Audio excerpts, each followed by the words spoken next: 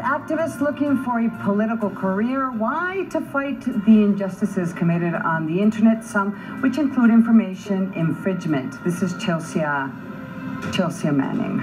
Let's watch. Who is the person you trust the most? Is your best friend? Your boyfriend, maybe?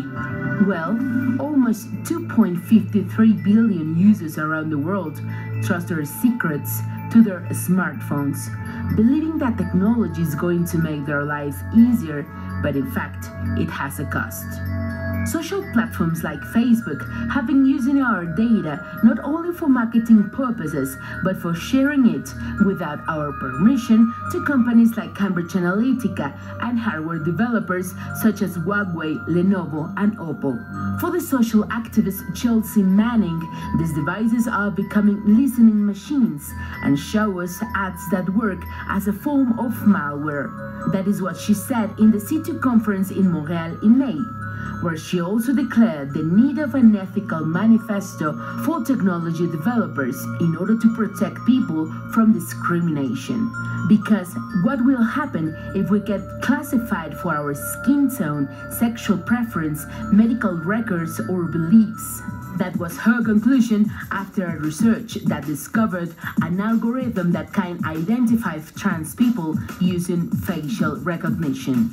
Chelsea is a transgender and former United States Army intelligence analyst who leaked more than 7,000 military documents to the Julian Assange platform WikiLeaks in 2013. She was convicted by court martial in July of the same year of violations of Espionage Act and other offenses. She was condemned to serve a 35-year sentence at the maximum security U.S. disciplinary barracks at Fort Leavenworth. Her sentence was commuted by President Barack Obama four days before he left the presidency. On January 2018, Chelsea announced her candidacy for the Democratic nomination for the United States Senate election in the state of Maryland, challenging Senator Ben Cardin. Alina Poulain, ADN 40. This is a fascinating story, and to discuss Chelsea Manning's political aspirations, as, as well as many of these uh, different uh, paths to understanding what's going on with our security, we welcome journalist Alina Poulain to the studio. Good morning. How are you, Good Alina? morning, Agustin. Good morning, Uh, Maria. Alina, welcome to the show. You were at an event where uh, Chelsea was actually there, Yes. correct?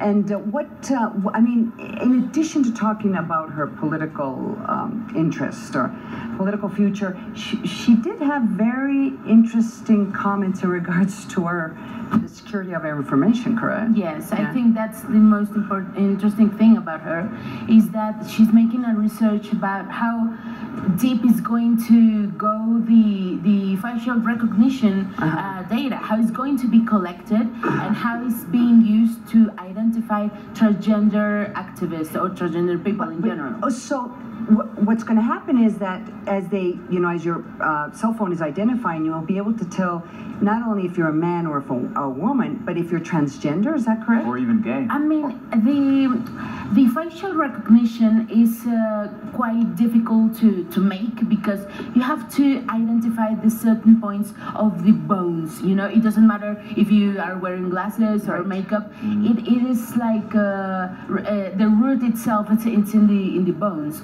So uh, as soon as you have that, it doesn't matter if you are transgender or not. Or not, you can uh, be identified whatever you are. Just very, very quickly. I mean, because this this is actually this goes further back, right? Chelsea Manning was actually a member of the U.S. military Yes. who was male. Yes. Um, this person actually got into these issues because of leaked information, correct?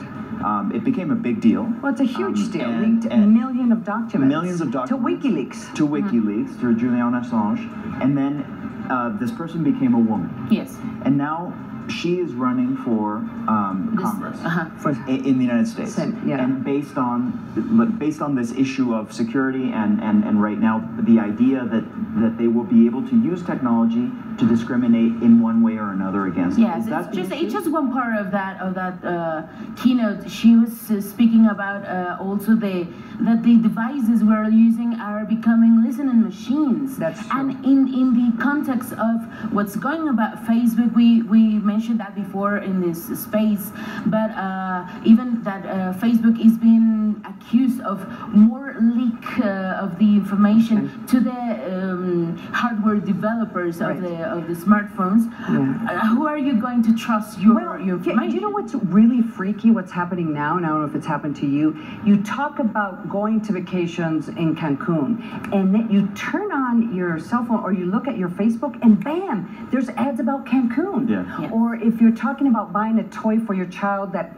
you know that uh, is uh, Legos, for example, there you see ads about these types of toys. So I mean, they're using the information. It is a listening device because that is taking that information and translating to the types of ads that are going to be reflected when you uh, go into Facebook or you go into a website. Yeah, she mentioned that the ads are a way of malware.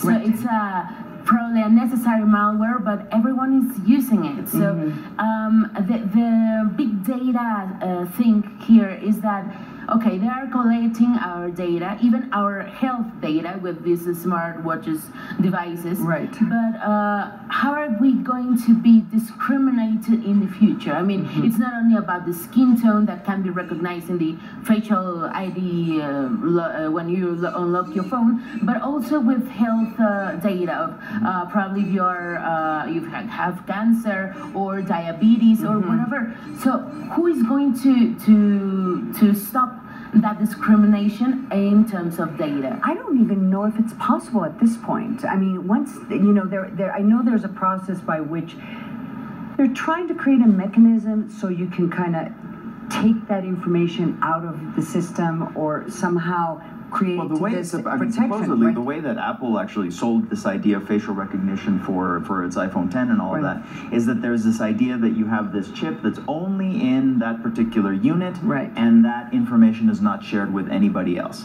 right? It's quite intelligent. I mean, in terms of security, that that is uh, mercadologically perfect. But Right. in terms of, of how they are collecting our data, but uh, it's it's uh, Is she gonna win? worrying.